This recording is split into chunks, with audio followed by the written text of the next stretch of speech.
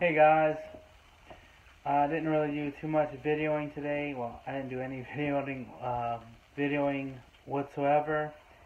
Uh, we had a, like a really big hangout day, so we got to spend some time with my, a lot of my family and friends. We had a church service, and then uh, we uh, had like a little get together after, and uh, that was really nice. A lot of different uh, things going on. Played some games, opened some presents.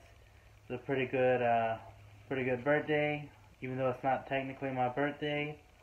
Um, but yeah, tired. It's almost what 12 o'clock. What, what time it is? Almost 11. It's almost 11 o'clock, and um, so I have like an hour to edit this short little video.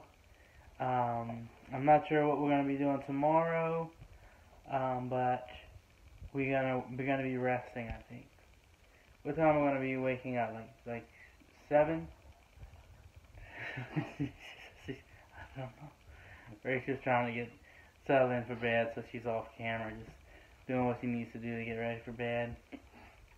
Sophie too. And so, uh, possibility of us going bowling tomorrow, but we'll probably um, in the morning, see how we're doing. So, I just want to tell you guys, I hope you guys had a good Sunday.